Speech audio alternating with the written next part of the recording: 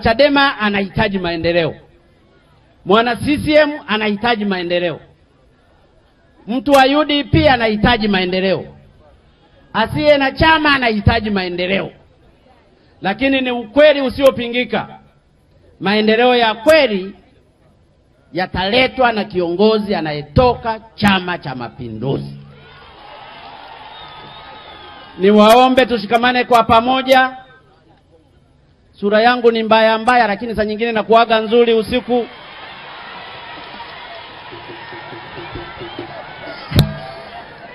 Sura ya Samia yenyewe nzuri, lakini mnachohitaji Watanzania ni kazi. Watanzania wanahitaji maendeleo. Watanzania wanahitaji kuondolewa kero zao. Watanzania wamechoka kulalamika. Mimi ndugu zangu, sio mkali, mimi ni mpole kweli, ila ninawachukia kweli watendaji wa serikali ambao hawatimizi wajibu wao, na hao ndio nitalala nao mbele.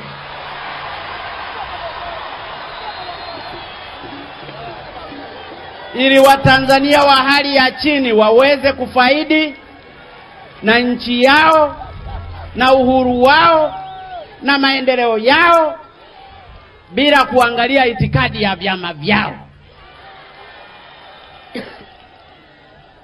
Ndugu zangu wana Dar es Salaam, nisije nikazungumza zaidi nikapotea, lakini ninawashukuru sana viongozi wa Dar es Salaam.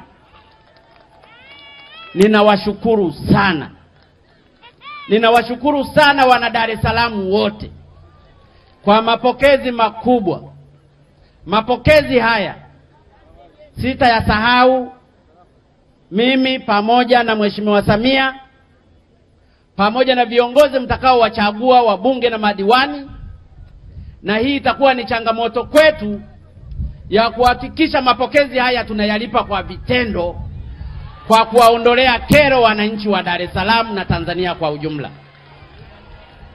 Wana Dar es Salaam oye! Hebu tunyoshe mikono tushangilie basi angalau tu. Dar es Salaam oye! Maendeleo oye! Tanzania oye! Umoja oye! Mbagara oye! Wakina mama oye! Wazee oye! Wanaume oye! Vijana oye! Ninawashukuru sana. Mungu awabariki sana. Asanteni sana kwa makaribisho mazuri. Mabeja sana. Asanteni, asanteni na Mungu awe nanyi. Asanteni sana.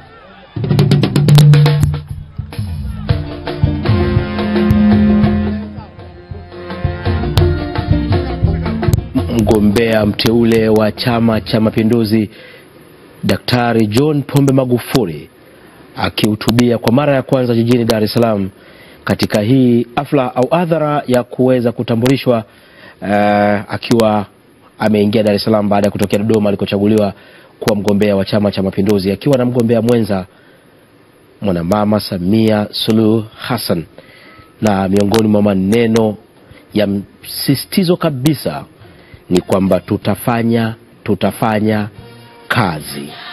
Anasema yeye sio mkali, ni mpole kweli kweli, lakini wafanyakazi wa serikali wasiotimiza wajibu atalala nao mbele.